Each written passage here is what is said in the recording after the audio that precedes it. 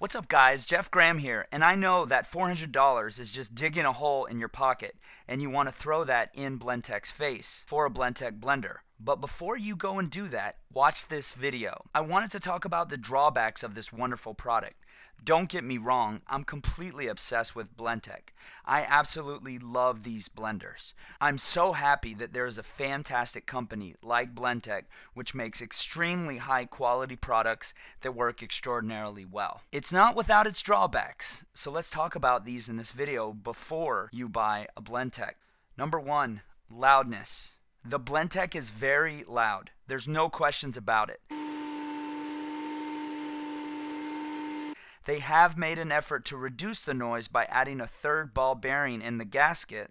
However, I have not yet confirmed if this makes the unit any quieter.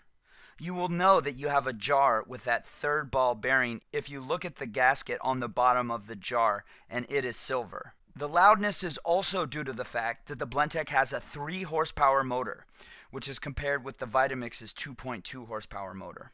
Number 2. You need more than one jar. You can technically do thick things like nut butters and hummus in the standard Blendtec jar. However, you will have to stop about every few seconds to scrape the sides and push the nuts down the side. To compensate for this, the, the twister jar. The link is in the description.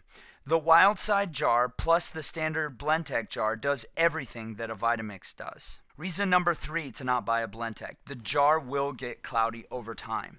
You can overcome this by either putting the jar in your dishwasher or using this hard water spot remover called Lemishine. You can go to their website and find out which stores near you sell Lemishine.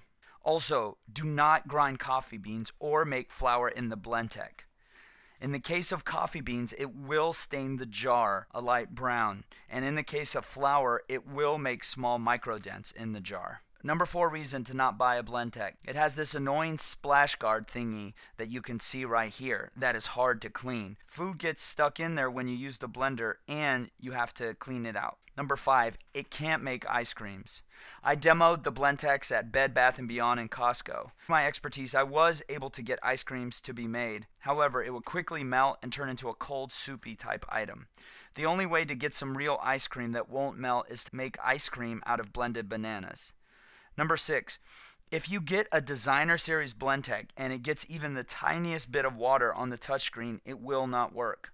I always steered people toward the classic 575 blender since it did not have the touchscreen, and with that particular model, you will not have that as an issue. 7. I would recommend getting a refurbished classic series Blendtec.